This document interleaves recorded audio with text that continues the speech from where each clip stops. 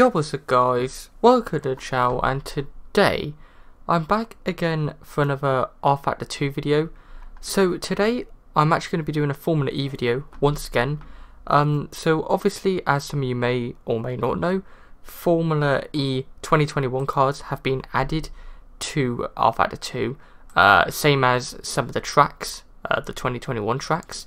So yeah, since um, they were racing at New York this weekend, in their little virtual series that they're doing. I thought I would try this out and give it a go.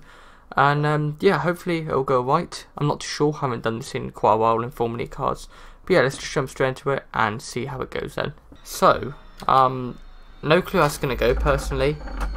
Haven't done this track yet, obviously. Well, I have, but it was a different version of the track. Sort of just getting used to, uh, then assignments I've done for the the wheel.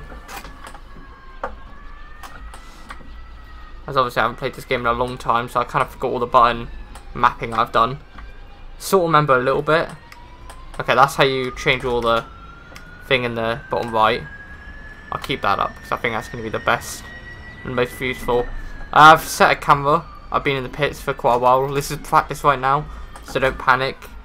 Um, I'm probably going to be pretty slow. As you can see, I'm not very good but trust me, they handle a lot more differently to a Formula 1 car. So I'm trying to get on the floor where I can, but it's very difficult to do so. You probably lift off through there, yeah, nicely. Well, that's the first hot lap then. That keeps me in P22 at the moment, which isn't ideal. Try and go for another one, hopefully quicker.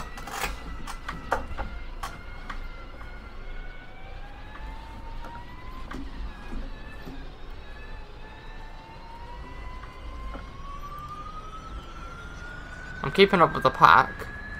It's good.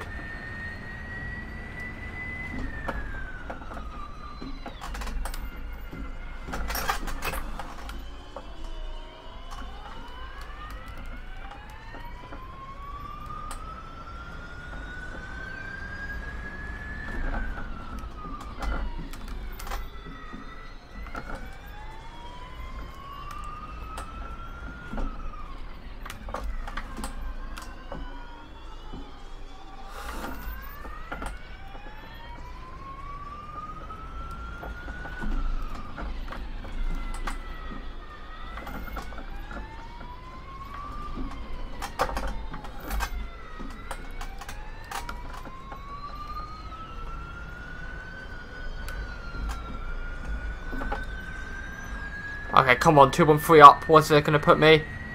P1, let's go. What a lap. Damn. 4 thousandths quicker than P2. Oh my days. What a lap that was.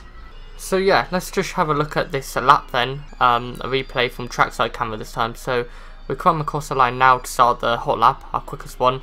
Run down towards turn 1. I tried to break as late as possible. I really took this one very aggressively and found really good braking points actually I found on this lap.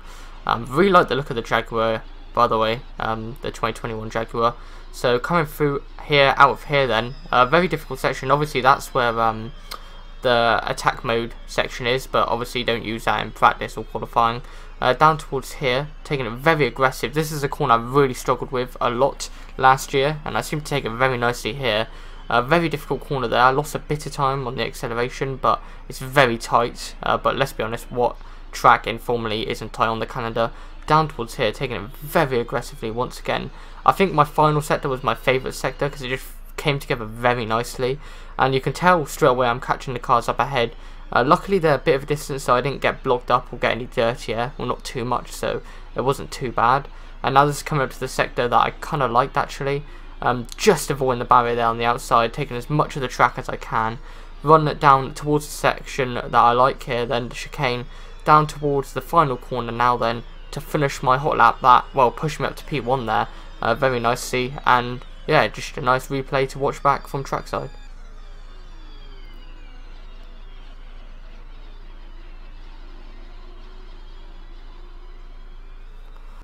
Let's try and have a good start here then.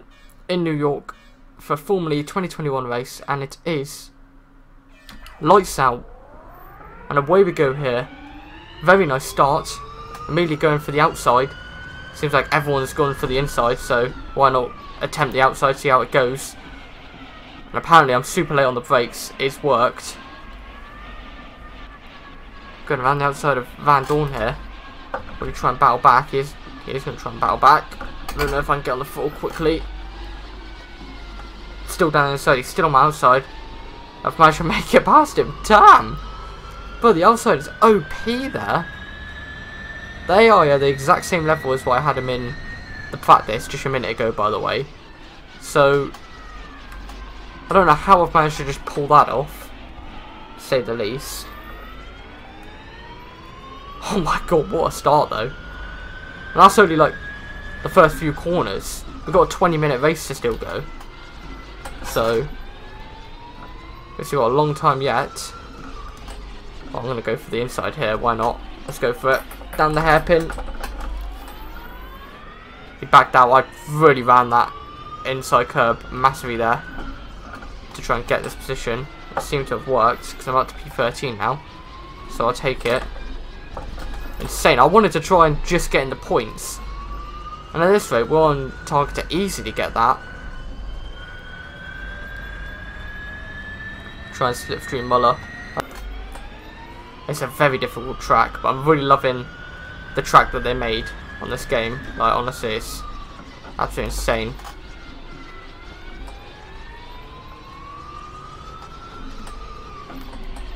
Oh, we got someone sending it. Oh, he's crashed. He crashed into the barrier in the hairpin. Oh, what has he done? That's promoted me up to P12. Again, I'll take that any day. I'll take people taking themselves out of the race.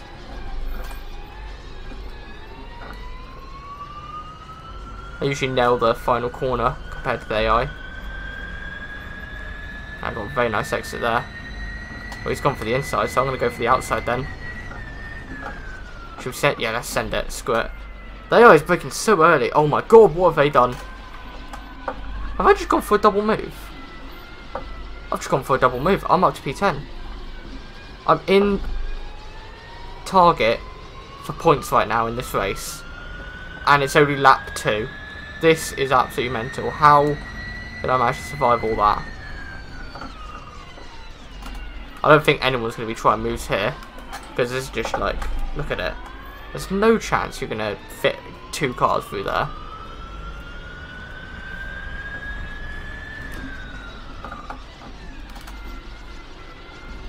This race is turning into an insane race though.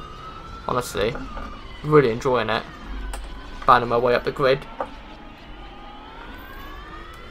They are giving me a run for my money though. It's getting harder the further I get up the grid though, not gonna lie.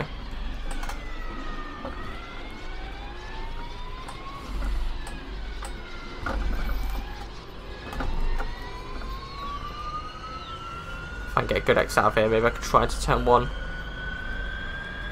Got very nice exit, slipstream, tuck to the inside, down the inside of Sebastian Buemi, into turn one. Made the move stick very nicely there. Next is Oliver Rowland. Oliver Rowland's got very bad exit out there. We're going to actually send it down inside here. And that's us up to P7.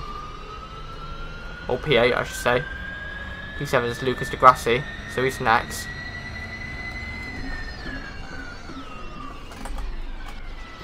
If I was a bit closer, I would have probably gone for it, but I wasn't quite close enough, so I didn't want to risk it all and destroy my race and his race.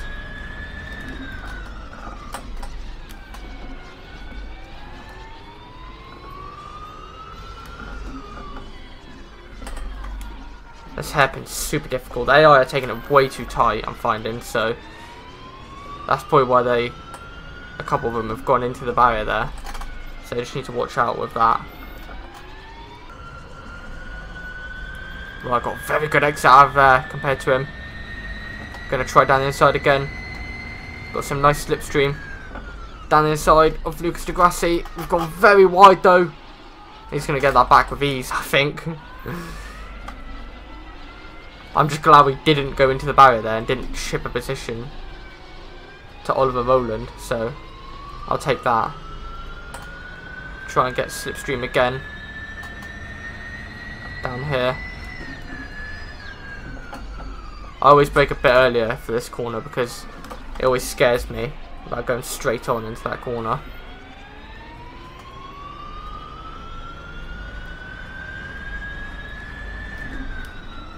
So Lucas di Grassi really giving me a fight right now. So I've really run that curb again. I've got to stop doing that because you've got to just hit the little bumps just before the curb, not the actual fully white curb that's behind them because also it just completely destroys your suspension. I mean these Formula E cars are usually quite sturdy but they still do not meant to hit them and they still can be damaged. We're very close to Lucas di Grassi now. We might be able to have a go down inside of him here. And then Cassidy's just down the road from him there as well. We're going for the outside. On Lucas di Grassi. I don't think I'll send it on Cassidy as well because Cassidy will just, yep, there go, turns in. So fair enough. But up to P7 nevertheless. Cassidy's looking pretty slow out of here. I might actually try and move onto him in here. I'm not too sure. I think I might be a bit far back now. Yeah, a bit too far back. Lucas di Grassi's trying a dangerous move there. Left him just enough space so he can still fit through. And he survives. Oh, it's Oliver Rowland. So Lucas Grassi's actually shifted position to Oliver Rowland now as well.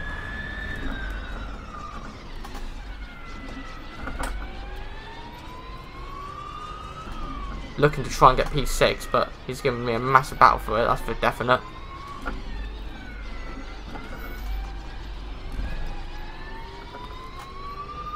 Try again. Again, I can't get good exits out of there anymore. super difficult. Ah, oh, broken a bit late again. Meanwhile, Oliver Rowland's trying to get past me. There's just a a train of cars here. I literally, I still can't get around him. I've been stuck behind him for so long now. There's just no way around him. He's defending so well. There's just no way around him. He's defending so well. He's getting all the braking points right as well. Oh, Oliver Rowland's just put himself in the barrier there. It's not great for him. I think he tried to move on me and it did not work.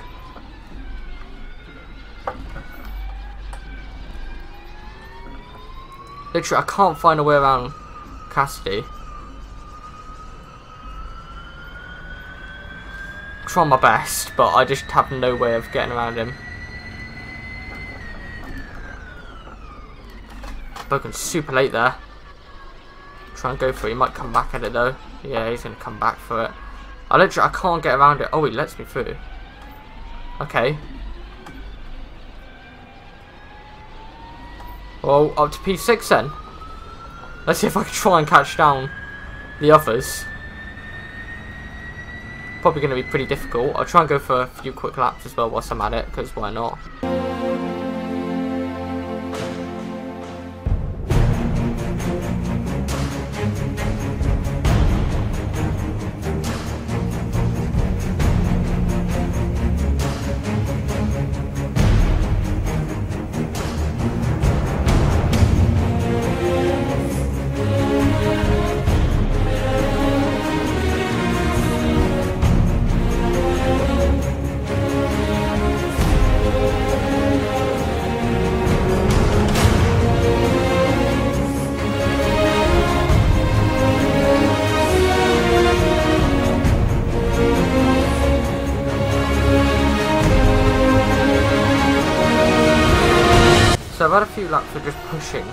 As hard as possible and I've managed to actually catch down the top 5 which is absolutely mental but Lucas Grassi's ain't too far behind so he managed to stick with me. Oh look at that, what an exit. Didn't leave much space but I'm going for the outside. Committed to it. Oh he's battled back though. Down inside. Up to P5. Try and get good exit here. I don't know how long we have left in the race. Okay, but I could probably imagine not too much longer. So try and get Camara now if I can. Maybe here down inside. Send it. I'm gonna try back around the outside. It looks like I might have this covered.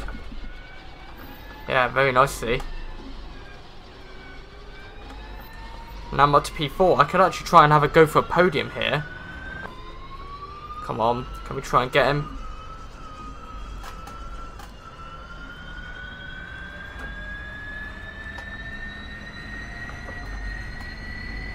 Try down the inside. Gone massively wide once again. That seems to be the way to do it. And we're at the P3. Can we actually try and go for a last to first? Come on, let's go maximum push now. Try and go for everything. Try and get these guys before the end. I don't, like I said, I don't know how long's left or what, but I'm going to go for it. That's all I know.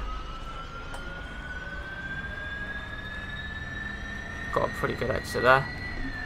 Do I feel like he's going to send it? That's why I backed off, because I just feel like he's going to send it.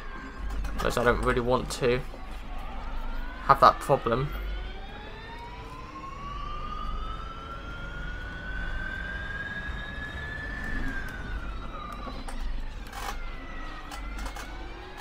Maybe down into the hairpin. Screw it, let's go for it. Why not? Ran the curb, but made it up to P2. Managed to get Oliver Turvey. Now just one more car between me and a last to first win.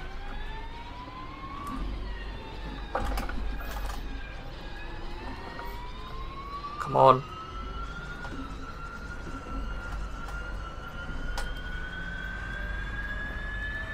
Ah, oh, that's it. P2. P2, I'll take that. I will take that any day. What a race. And it's probably disqualified me because of the fact I didn't pit and I probably got one mandatory stop on, but really we all know it's P2. Whew, what a race. I'll take that. I'll take that. That was a really good one actually, I enjoyed that one. So there we go then. That is my first 2021 Formula E race. Um, was really good actually, really enjoyed that one. Um, the practice session as well. Uh, really tested my limits on how to drive these Formula E cars once again and it's a bit of a different handling. I find these cars have more traction. Uh, that might just be me or my imagination, I'm not too sure, but yeah, it felt really good actually to be back on Formula E cars again. And um, yeah, I'm going to leave this video here though. If you enjoyed this video, then make sure to like and subscribe. But thank you for watching, and goodbye.